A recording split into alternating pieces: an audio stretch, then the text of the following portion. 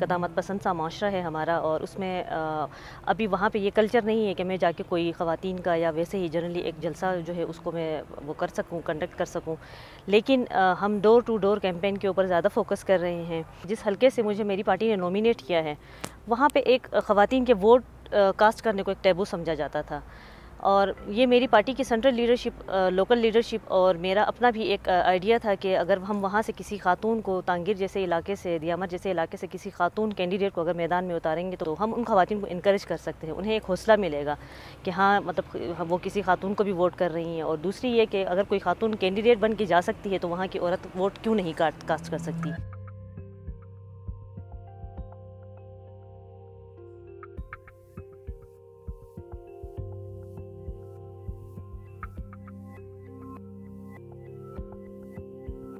میں نے اعزازات امیدوار کانٹیکسٹ کرنے کو پریفر دیا، کیونکہ یہ موقع ہے کمپین کے دوران میں بہت سارے ڈیفیکلٹ ایریاز میں، جہاں ہماری اپروچ عام وقت میں نہیں ہوتی ہے، وہاں جا کے میں مسائل سن سکتی ہوں اور انشاءاللہ ان فیوچر میں ان کے لیے کام کرنے کے غرض سے میں سیاست میں آئی ہوں۔ الحمدللہ الیکشن مہم بہت اچھی چل رہی ہے۔ چیلنجز میرے لیے یہ ہے کہ ہمارا جو حلقہ ہے وہ بہت بڑا ہے بہرچی سے لے کے برست تک کور کرنا ایک چیلنج ہے۔ میل ڈومیننٹ سوسائٹی میں کام کرنا مشکل ہوتا ہے خاتون کے لیے، لیکن میں اس کام کو اور اس مشکل کو میں ہمیشہ اپنے لیے اپرچونیٹی سمجھتی ہوں۔ دوران کمپین انہوں نے اپنے لیے ووٹ بینک بنانے کے لیے میرے میرے ذات پہ کچھ کمنٹس کیے ہیں جو کہ میں اس مجھے بہت افسوس ہو رہا ہے۔ نہیں کرنا چاہیے کیونکہ ہم ہمیں اپنے اقدار اور ویلیوز کو پریفر کرنا چاہیے۔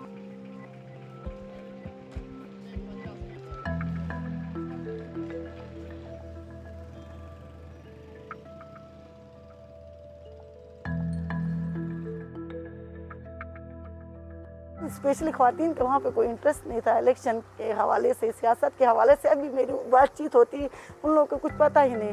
تو میں نے کہا، میں ہنزا سے وہاں وہاں سے الیکشن جنرل الیکشن کنٹیسٹ کروں، دیکھتی ہوں کہ وہاں کے لوگ ابھی تو میرے ساتھ بہت کاپریٹ کر رہے ہیں۔ وہاں کے یوتھ والے ہو گئے، جو ان کے مکھی صاحب امام صاحب، مسجد کا، وہ انہوں نے میرے ساتھ بہت ہی اچھا کاپریٹ کیا اور تعاون کیا۔ ابھی میں کوشش کر رہی ہوں وہاں جا کے اپنے کمپین کروں۔